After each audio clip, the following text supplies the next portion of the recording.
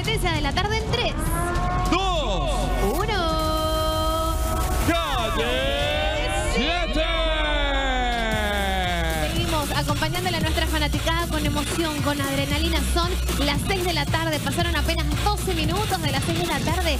Luis, Ricky y Lío se enfrentan a una competencia más. Luis ya recuperado, concentrado. Ricky también con ganas de darlo todo en esta competencia. Imagino que no van a querer Ricky y Luis enfrentarse en una competencia. Son amigos, no van a querer llegar hasta una situación como esa. Luis va tratando de alcanzar el paso de un Lío que es el primero en dar una campanada. Lío empieza a tomar ventaja y en este enfrentamiento es el único gladiador del rojo que está peleando también por seguir el mismo camino de Atos que hoy ya volvió al búnker, que ya volvió a su capitanía luego de haber ganado la primera competencia con honores. Ahora ellos tres, tanto Lío, Ricky y Luis, están buscando la chance en esta segunda competencia donde todavía quedan muchos minutos para que cada uno demuestre su destreza como gladiador. Ay, ay, ay, se le acaba de caer el peldaño a Luis. Esto le generó un contratiempo,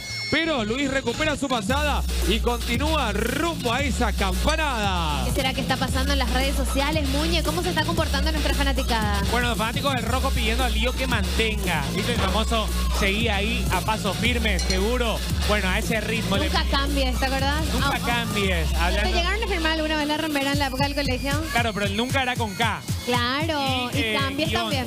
K-10. Siempre, sí. Sí, sí. Justo, justo que hoy con el Día del Niño nos acordamos de estas cosas. Ahora la época de colegio, de la Leo, escuela. nunca cambies, seguí así por siempre. Ay, me encanta. Fantástico. La época, en la, a- cual, en la época en la cual comprabas saldo y te comprabas el saldo de acuerdo a cantidad de mensajes. Volvamos a hacer noche ilimitada.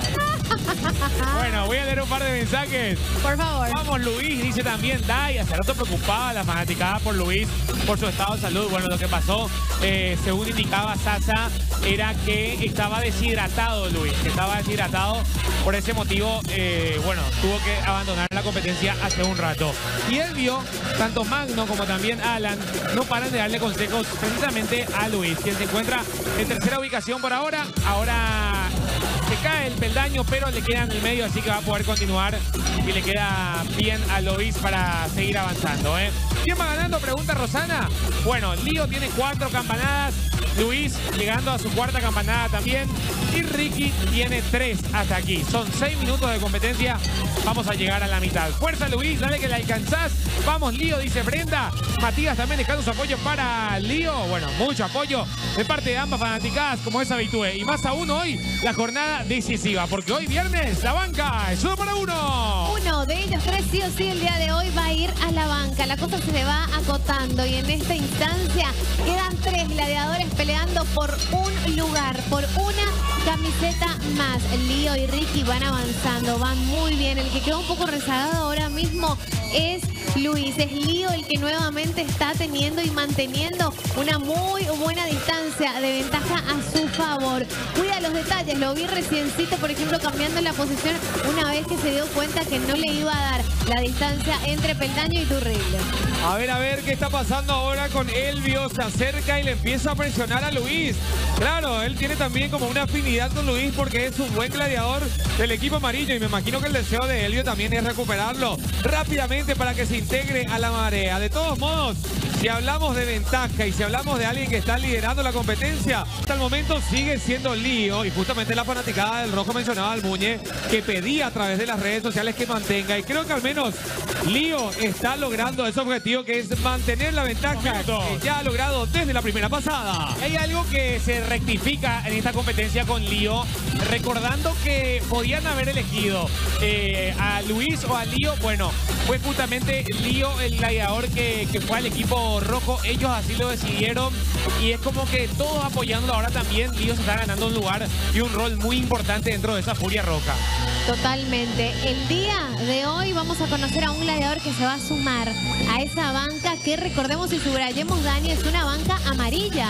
Hay muchos, prácticamente todos los gladiadores, todos los que forman parte de la banca son gladiadores del equipo amarillo. El único gladiador que corre peligro ahora de ir a la banca pero así como va, así con el ritmo que está teniendo, tal vez logre zafar, pero ojito porque se acaba de despertar Luis. Cuando de por ahí hablamos de la cantidad de ex amarillos que están en la banca. Me acuerdo de la, la frase de Atos. ¡Último minuto! La frase de Atos que ¡Epa! decía que el equipo rojo es el equipo que está siendo más protagonista de Calle 7 en la batalla de los dioses, porque prácticamente todos los shortcitos de la banca son amarillos. Queda muy poco tiempo, estamos hablando de los últimos segundos y ahora Luis también empieza a apretar. Vamos 40 a ver segundos. si a Luis le da el tiempo para superar a Lío y al parecer cada vez está más cerca de este gladiador. Demasiado cerca. Está actualmente. 30 Luis. segundos. El equipo amarillo. Me voy a ser mucho más específica. Elvio y Alan no paran. 20 segundos. Darlo a un Luis que cada vez está más cerca de Lío. Se acaba el tiempo, atención Lío, Ricky, Luis. Es el momento de meter el modo turbinado porque esto termina en 10, 9, 8, 7, 6, 5,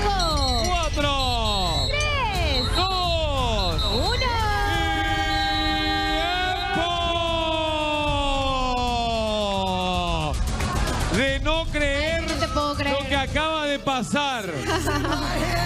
Confirmado de que Lío en esta última campanada la toca, pero sin el pañuelo en su poder. Ay, ay, ay. El equipo de jueces le estaba llamando la atención, Lío no se percató y de esta forma nos confirma, vamos a esperar que el equipo de jueces nos dé el veredicto final, pero así Sí. como viene la cosa, si efectivamente el Lío no tocó la campanada con la pañoleta en su poder, el ganador sería Luis. Ah, hay una- A ver, Lío, vení, por favor. Lío, vení, por favor. Ahí están quedando las imágenes del Sí, juez. ahí está. En el momento donde toca la campanada Lío, que Lío acusa que tiene el pañuelo adentro. Lío acusa eso, ¿eh? Ya, tengo todavía un pañuelo adentro. Tiene un pañuelo adentro. A ver, ¿qué dicen los jueces también ante esto? Bueno, eh, está claro las imágenes. eh, se saca los pañuelos, los tira al suelo, después toca la campana. Le empieza a tocar el pito para que para darle a conocer su error, pero no hizo caso, ¿ya? Y toma la delantera en ese caso porque la campanada de lío cuando la da sin el pañuelo en su poder no vale. En la regla sale, el ganador de esta competencia es Luis.